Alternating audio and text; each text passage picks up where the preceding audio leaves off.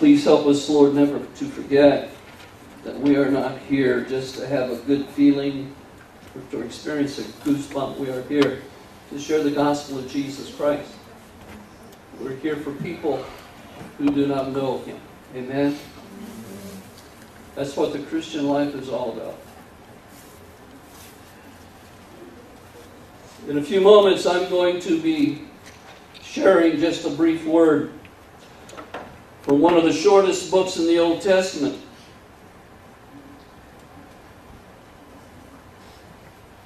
Some call him Habakkuk. Some call him Habakkuk. Whichever you call him, he's on page 1144.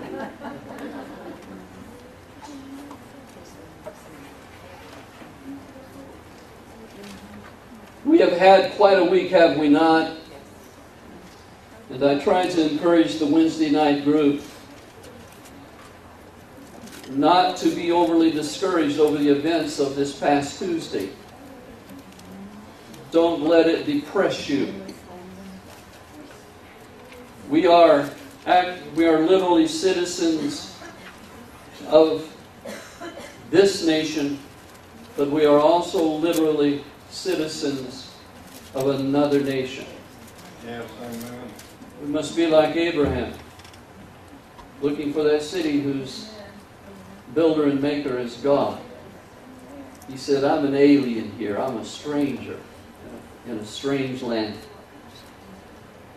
And somehow we have to keep that in the back of our minds that no matter what happens on the political scene, we are still born again men and women, children of God, and that we belong to another order.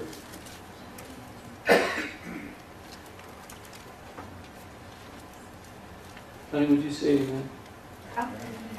Thank you.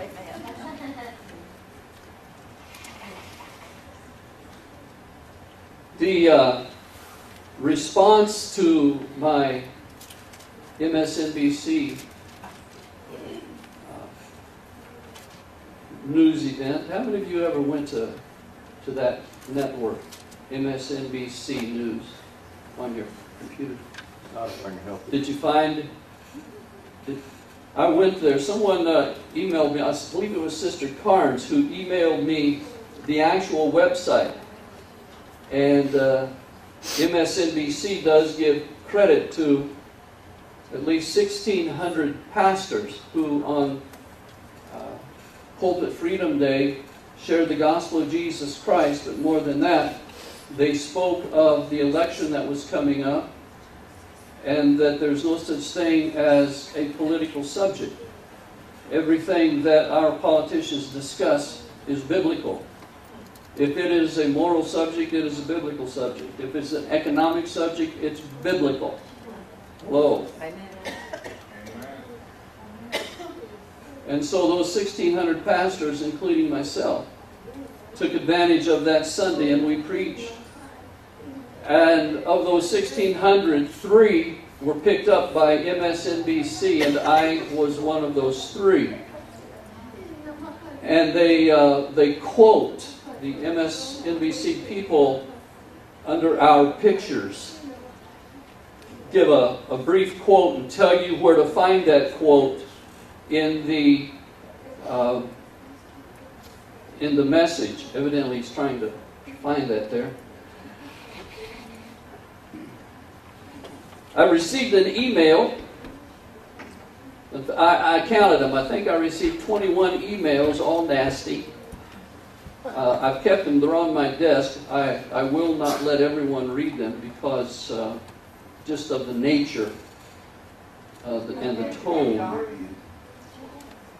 Amen. There it is. this is what was on uh, MSNBC website. And you can click on that arrow and you'll hear that message all over again. Huh? Oh, no, I didn't say that.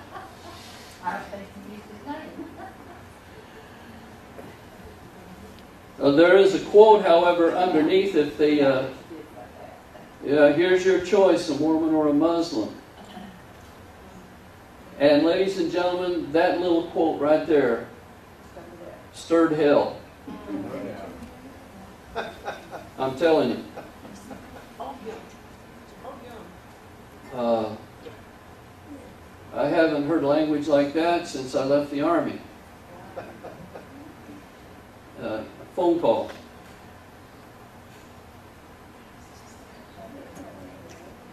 One, uh, one of the emailers said, as a concerned citizen, they are sending my sermon to the Internal Revenue Service.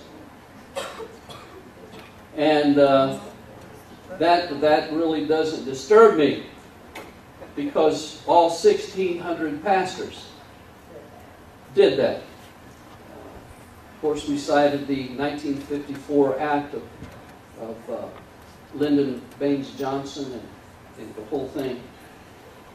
Of all the letters that I received, I want to read one to you.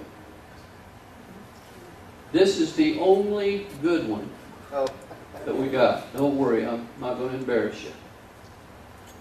And it happened to be from a lady right here in Midland who picked up on this particular message. Dear Pastor Ken, greetings of love and peace in the most precious name of Jesus. I was ecstatic when I saw your name while reading the news on the internet. Just want to let you know how much I admire you for standing up about the November 6th election. I wish my pastor would be bold enough to address the issues to the congregation and not be afraid. You, as a shepherd, are commanded by the Lord to lead his sheep. And I know a lot of Christians are uninformed about the current president, and you are right. He is a Muslim. I thank God for you and for all those pastors who boldly speak the truth. Who cares if churches lose their tax exempt status? The most important thing is to stand for the Lord and not be intimidated to raise his banner. Sad to say, too many pastors become career pastors. I thank God that He is in control of this election and will let the world know who He is. Praise the Lord. May the Lord bless you more as you serve Him with all your heart, mind, body, and soul. May His wisdom always be with you as you speak to your congregation with love and compassion in Christ faith. And that's not the faith you know.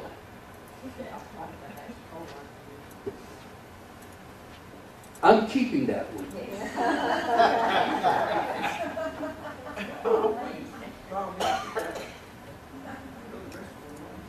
Um, we're living in some very strange times, if you haven't picked up on that yet.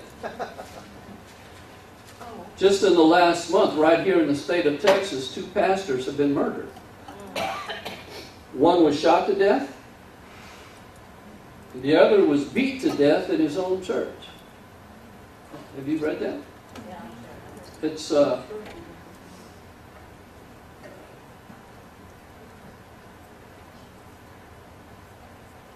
but we cannot be intimidated by threats of any kind. That's right. The truth is more important than our safety. Uh, I thank God for the security that we have here at this church. Uh, if you don't know we do, we do. If you don't know, that's good, because they are walking among you. But I, uh, I thank God. A few, uh, a few years ago, a gentleman walked through the church uh, into the back doors who had previously threatened one local pastor with a gun and uh, came in came into my office one day when I was here alone, and we just missed fist, fisticuffs by a breath uh, as he began to yell and scream and rant at me. And uh, the only thing I knew to do is just stand up. You know. So we were out here in the foyer, face to face, nose to nose. and uh, I just waiting. But he finally walked out. Well, a few weeks later, he walked. I, I had told some of the security guys here about it, about the incident, and he walked in the back doors. And as soon as I saw him, I looked at all three of the men, uh, especially two of them, and I just nodded my head. And they caught my eye and nodded back. They, they knew what that meant. Uh, be alert. So we are living in some very, very treacherous times. Had you listened to one of the phone calls or even read some of the emails, uh, you have, you have no doubt in your mind that given an opportunity, uh, they would, they would take me to task physically. But that's the world we live in. Those who preach tolerance the most are the most intolerant. That's right. That's true. I was going to say quite a bit more, but I have, I think I have decided just to, to go on and uh, let that dead dog lie. Uh, I'm not changing my mind, and perhaps God will change theirs at a later time. Later time. But uh, for now, we're going on.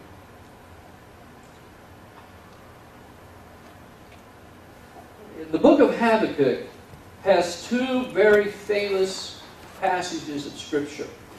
When I say passages, I mean verses. And they are both taken out of context. That some, we, we Christians, if it, if it makes us feel good, we'll just grab a verse and start applying it, not even knowing what it means. It just feels good. And there are two verses in Habakkuk that uh, are just like that. And I've heard sermons, messages preached on both of these. But as you as you read carefully, uh, I'm, I'm going to use a word used in theology. Don't don't take take me to task over it. When you read the scripture critically, that means you try to understand it. You you dissect it and, and devour it. It's not being critical in a negative way, but it's reading critically for understanding. When you read the book of Habakkuk critically, you, you see that these two passages of Scripture, these two verses, uh, mean nothing as to what people believe mean.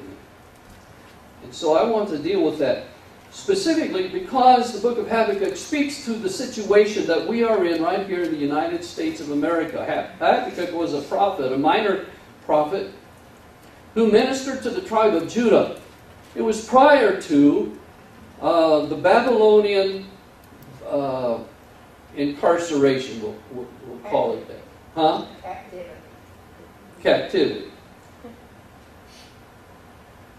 Let's uh, just follow along. I'm going to read through this and just give some highlights until we get to the passages that uh, are very important.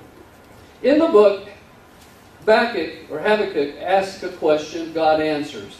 Then Habakkuk responds and asks another question, which God answers. So it is a book of questions and answers and response on both God's part and on Habakkuk's part as they as they dialogue about the situation that Judah found itself in. Verse 1 The burden of Habakkuk, the prophet, did see. O Lord, how long shall I cry, and thou wilt not hear? Even cry out unto thee of violence, and thou wilt not save. Now, when you stop to think about it, that is an incredible statement or a question that Habakkuk asked, How long, O God? Is there anybody in the house who has asked God, How much longer? Yes. When are you going to do something? Now you have to understand that, that Judah, though uh, it, it means praise, was in just as much sin and idolatry as the other tribes. Of course, Judah was one of the two southern tribes. But uh,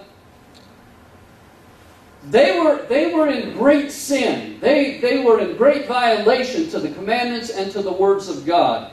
And God had, can I recognize it? God had had a bellyful. And it was time for him to take some action and deal with Judah and the southern kingdom in a judgmental way. Now, obviously, Habakkuk, a man of God, had been praying for a long time, lest he would not ask, How long, O Lord? Am I going to be begging you? How long shall I cry? I've been doing this for fill in the blank. And you have not heard me. You have not inclined your ear to me. Look, there's violence in the land. There's no justice in our court system. Verse 3 Why dost thou show me iniquity and cause me to behold grievance for spoiling and violence are before me? And there are that raise up strife and contention. Every type of sin known to man was occurring in the tribe of Judah. Habakkuk, this prophet, begged God, prayed to God for help. Therefore, the law is slacked. He's talking about the people. They're not paying attention to the law. The, uh, the court system is, is no longer uh, abiding by the commandments of God. Those commandments given to us through Moses. Judgment doth never go forth.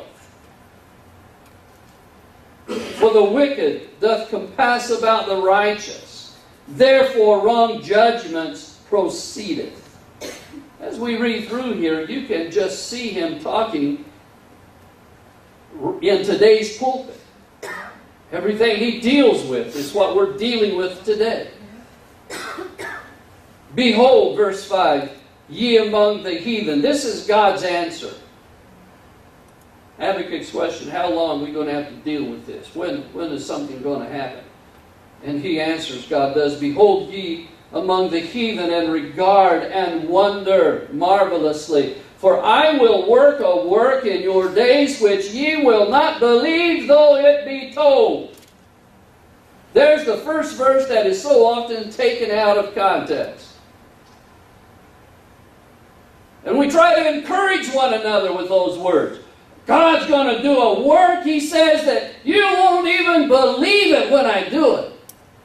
Even in the midst of all this sin and degradation, God is going to work it out. That's good news, but it's false news. Let me tell you why. He goes on, God goes on with his answer. You're not going to believe this, he said in verse 5. Even if we're told you, you wouldn't believe this. For lo, I raise up the Chaldeans, i.e., aka Babylonians. This is a prophecy just prior to the Babylonian captivity. Lo, I raise up the Chaldeans, that bitter and hasty nation, which shall march through the breadth of the land to possess the dwelling places that are not theirs. They are terrible and dreadful. Their judgment and their dignity shall proceed of themselves. Their horses also are swifter than the leopards, and are more fierce than the evening wolves. And their horsemen shall spread themselves, and their horsemen shall come from afar. They shall fly as the eagle that hasteth to eat. Man, I'm encouraged.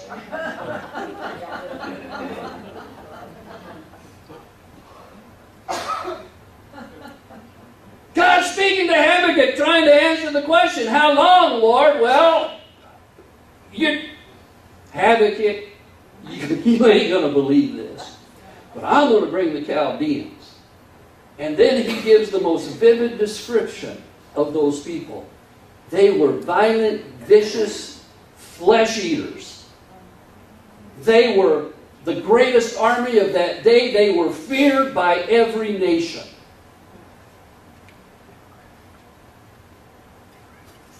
They shall come all for violence. Verse 9. Their faces shall sup up. Now, I meant to get a new translation up here, but what have you got?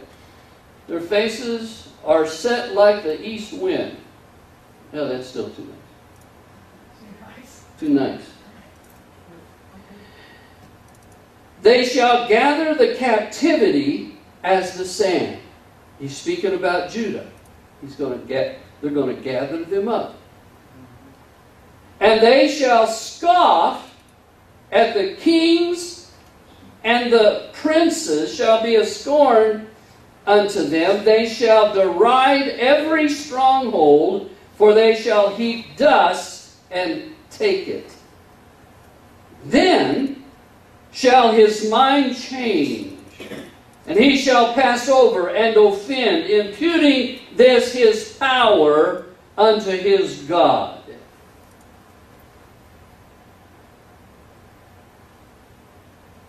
Art thou not from everlasting, O Lord? You gotta picture this in mind. God's talking to Habakkuk. He's listening. I'm going to break these guys down. They're vicious. They're man eaters. They're going to fly in like eagles. They're going to pick you up like the sands of the sea. They're going to take you into captivity. And Habakkuk is listening with uh, whatever it is, bated breath. He's just paying attention there. And, and you, can, you can almost feel Habakkuk.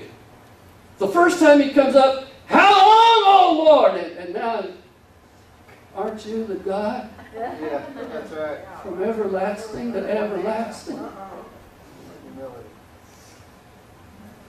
O Lord, my God. Mine Holy One, aren't you from everlasting? We shall not die. Now, there is a great proclamation.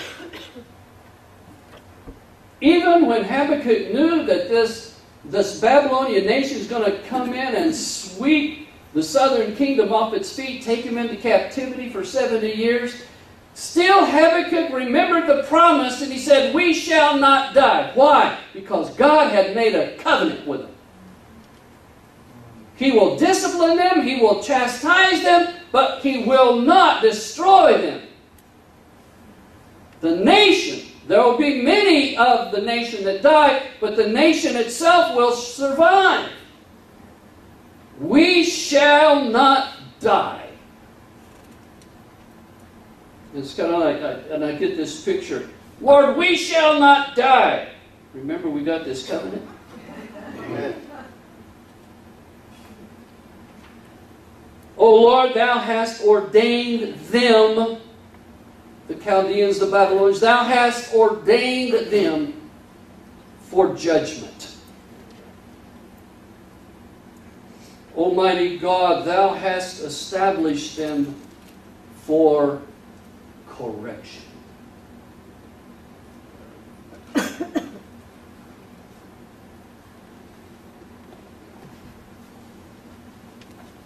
Are you getting a new handle on this?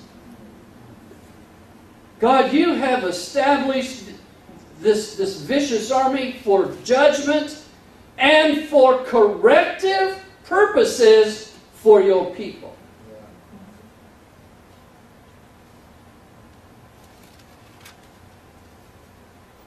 God doesn't judge us because He hates us. He judges because He loves us.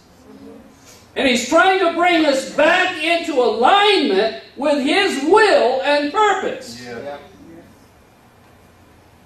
Can you see our nation in this position right now? Every child.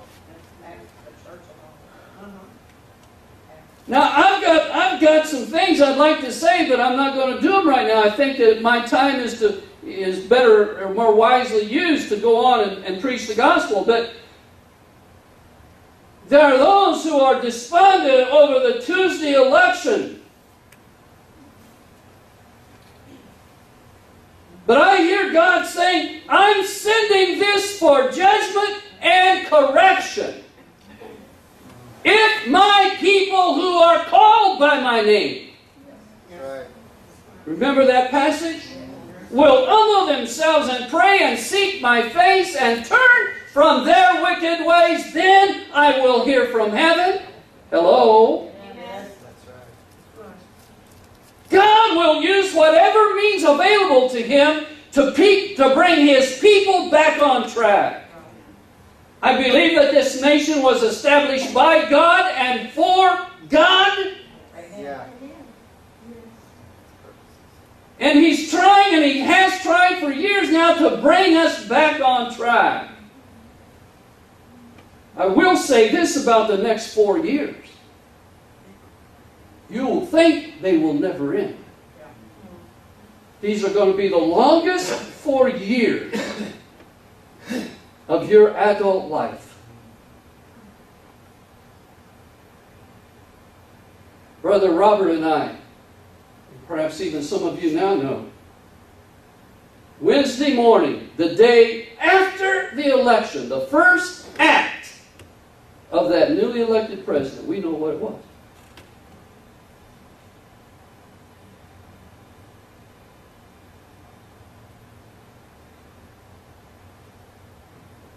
I'm not going to tell you.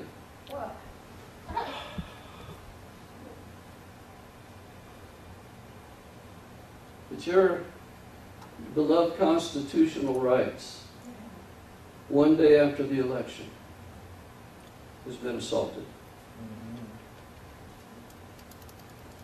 You think the past four years was bad? You ain't seen nothing yet.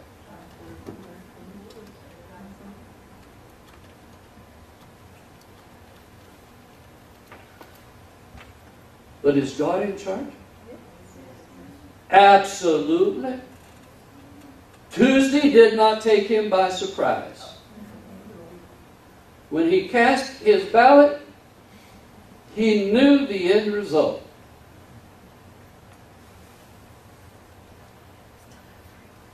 And the church of Jesus Christ had better wake up. Hello? Submit to the discipline, submit to the correction. Habakkuk, you're not going to believe what I'm about to tell you. It, but this is what I'm going to do. I'm going to bring judgment and correction to Israel. And I believe God is saying to America, you do not believe what happened Tuesday, but I'm bringing judgment and correction to this nation.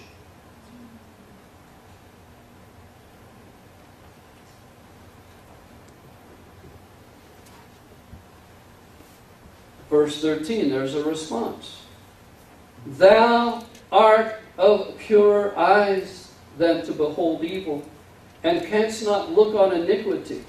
Wherefore lookest thou upon them that deal treacherously?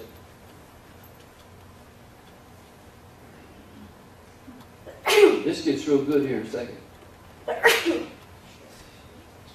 and holdest thy tongue when the wicked devoureth the man that is more righteous than he.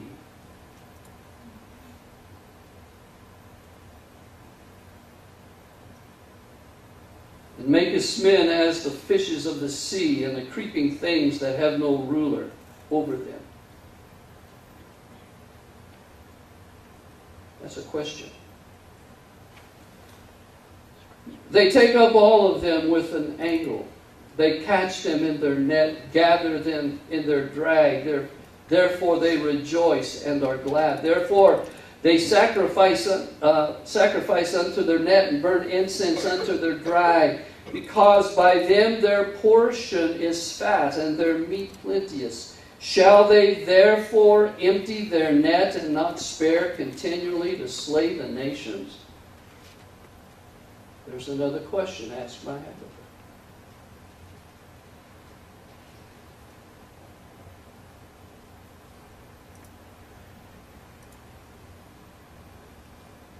Habakkuk is intrigued by this dialogue he's having with Yahweh.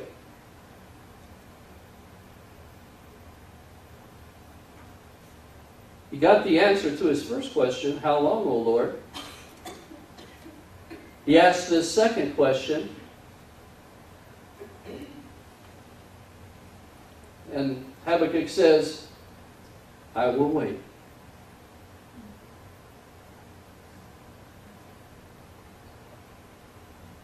I will stand upon my watch and set me upon the tower and will watch to see what he will say unto me and what I shall answer when I am reproved. Whoa. Now there is an attitude of a little steamy prophet right there. Okay, he answered my first question. He's going to answer my second one, and I know what he's going to say. But I'm going to stand my stand my ground, stand my watch, and I'm going to have a good answer for him. And the Lord answered me and said, Habakkuk, write the vision. Make it plain upon tables that he may run that readeth it.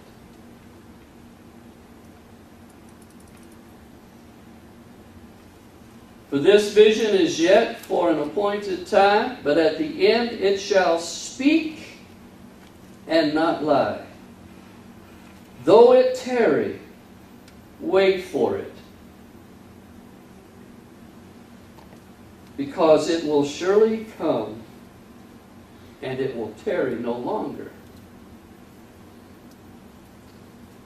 Of course, uh, this is sort of a parenthetical verse that I haven't planned to deal with.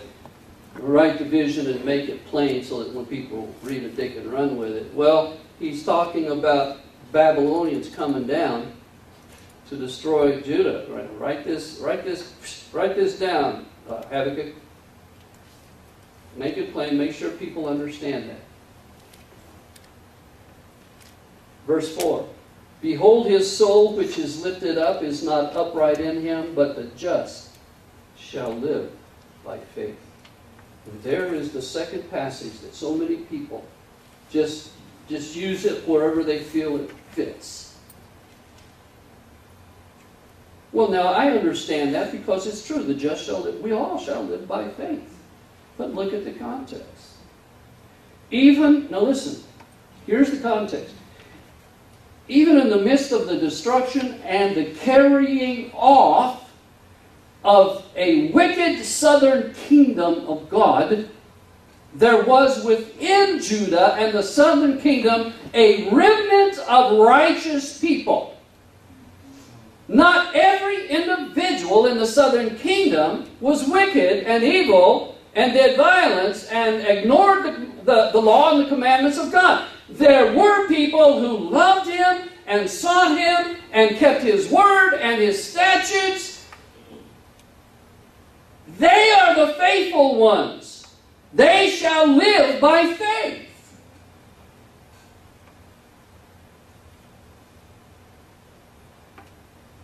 Faith, the act of believing. Faithfulness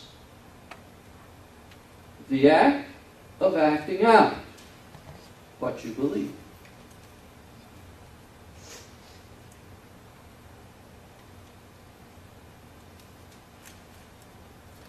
Tell them this. I know who they are. I know that they are righteous people. And Habakkuk said, How can you do this and give all this to wicked people and do that to the righteous? How, how does that work? And God's encouragement, you tell them, Habakkuk, be faithful. Don't succumb to the pressure of the moment. The just, the righteous, will live by faith. Ladies and gentlemen, we are coming into that time. And may I say for the umpteenth time, just because a person goes to church doesn't make him a Christian or make him a part of the family of God. There is a remnant, there is a church within the church, and I'm saying to that church within the church, you walk by faith no matter what you see happening out here. You do not succumb to the moment, you do not bend to the pressure, and you do not succumb to the fear that's going to come to you. You let that faith that's in you rise up and you walk accordingly. Yes. Don't just have a faith, but be faithful to that faith. I'm probably not making any sense.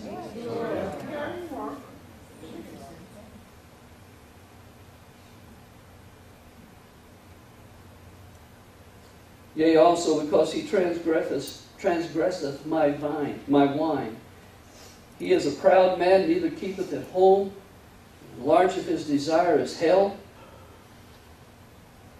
Boy, I could preach a while on that one. And is as death and cannot be satisfied.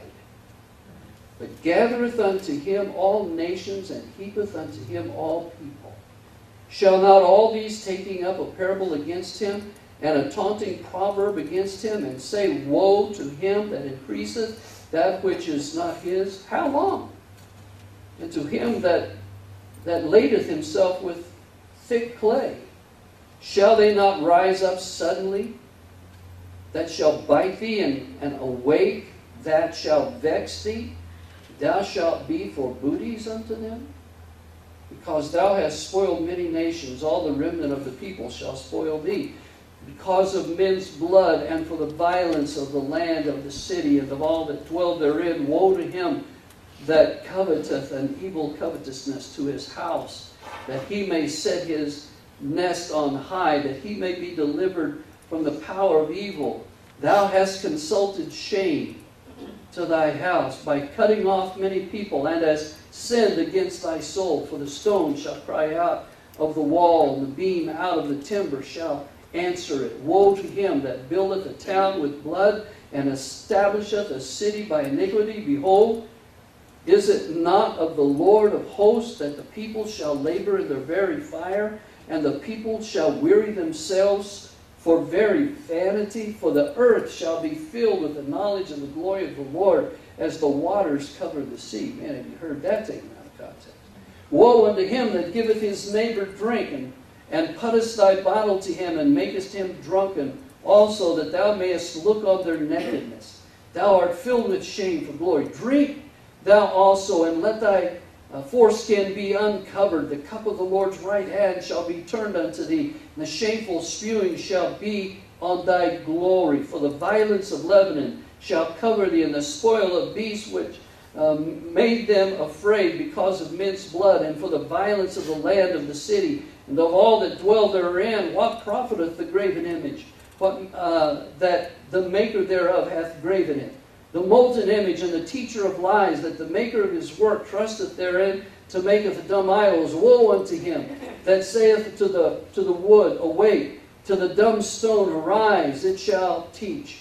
Behold, it is laid over with gold and silver, and there is no breath at all in the midst of it, but the Lord is in his holy temple. Let all the earth keep silence before him. And you can just, just say, Oh, I'm feeling better all the time. Habakkuk saying things out. Things go from bad to worse. He starts talking about the idol makers, those that set up wood and stone, various other objects, and begin to worship them instead of worshiping their God. That's what's going to happen while they're in captivity, but there's a remnant.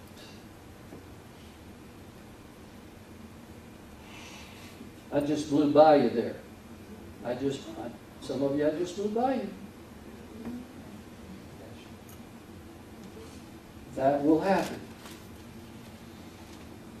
There will be parts of the church that will bend and bow. And they will look more like the world than they do the church. But there is a remnant. There is a people that God will preserve, that will not bend and will not bow. That sounds like it would make a good song.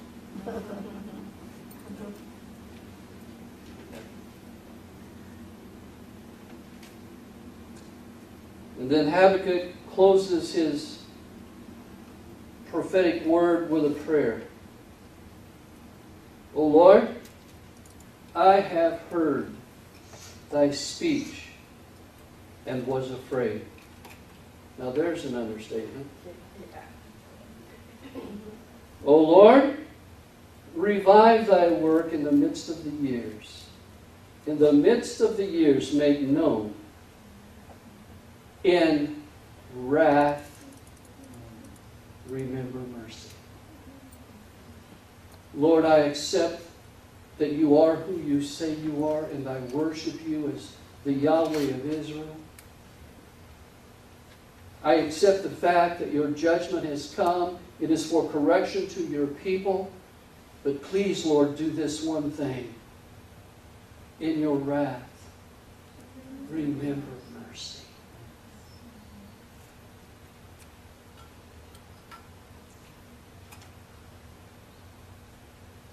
God came from Teman, the Holy One from Mount Paran, Selah. His glory covered the heavens and the earth, was full of his praise, and his brightness was as the light.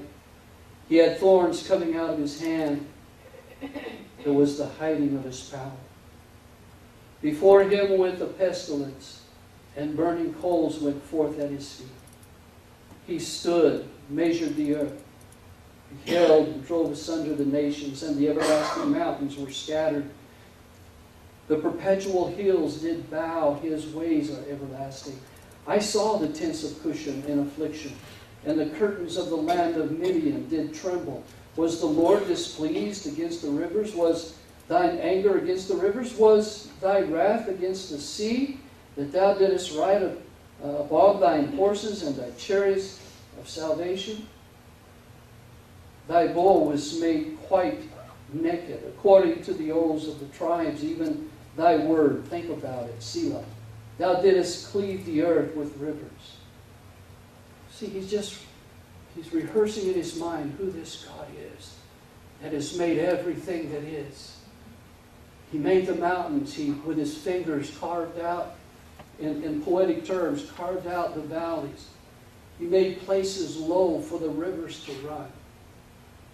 This is the God that Habakkuk is now bowing to, who was just a few moments indignant at what God was saying. Now he's saying, Oh God, you are who you say you are. And I remember that you are the creator of all.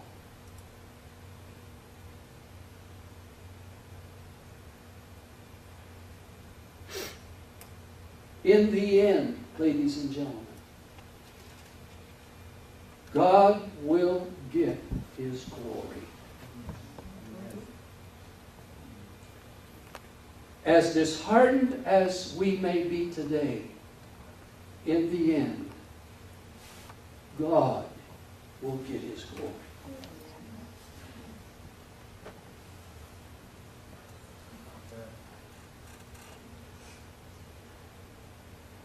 I still have a lot of prayer to go there, but I want to leave it.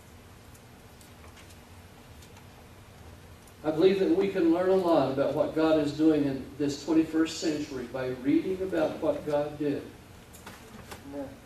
600 years before the coming of the Savior.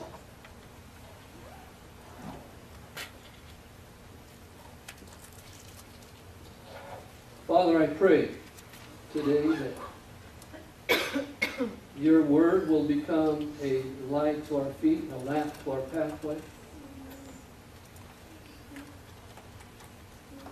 In the midst of the turmoil of our nation,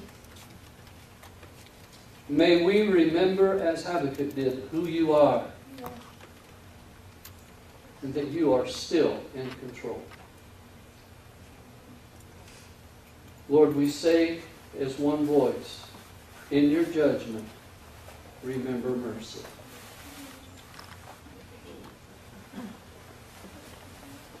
Cause your remnant to stand strong.